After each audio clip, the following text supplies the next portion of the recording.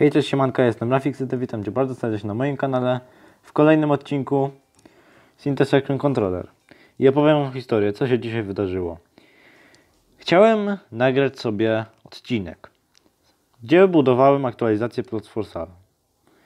I jak miałem nagrane może półtorej minuty filmu, to okazało się, że nagle nie mam miejsca. Mimo, że w aplikacji pokazuje mi, że mogę nagrać 6 minut i wcześniej też mi tak pokazywało.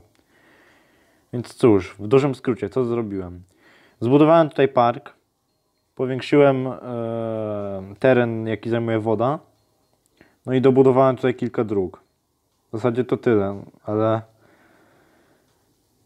No i... Dobra, nieważne, nieważne. Po prostu normalnie jest już i ja widzę się z wami, jak zacznę coś już robić. No dobrze, więc tutaj mam już drzewa zrobione. Jeszcze tylko teraz trzeba wypisywać wszystkie numerki plotów. Ojejku, to będzie straszne. Puściłbym wam to na timelapsie, ale na razie jeszcze nie umiem tego robić. Więc... Więc wam tego nie puszczę. Ale...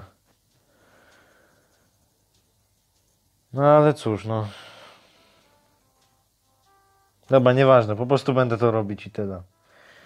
Wy zobaczycie już prawdopodobnie po dodaniu też detali. Więc... Dla Was to będzie chwila, dla mnie to będzie naprawdę długo. Więc cóż, mapa chyba została skończona. Event, no, w zasadzie już tak. Jeśli coś jeszcze znajdę, bo się trochę rozejrzę, to już po odcinku to sobie e, zrobię. A, a jakby ktoś się zastanawiał, co z tym fragmentem tutaj, to tutaj będzie linia tramwajowa. Więc, e, ale na, teraz tym się nie będę zajmować, bo tak szczerze to mi się nie chce. I nie mam też za bardzo teraz czasu. No. Więc co ja mogę dalej powiedzieć? Jeszcze e, zobaczycie jak to wygląda u mnie w udostępnionych mapach. Przed. Po. Jak widzieliście dość sporo się zmieniło.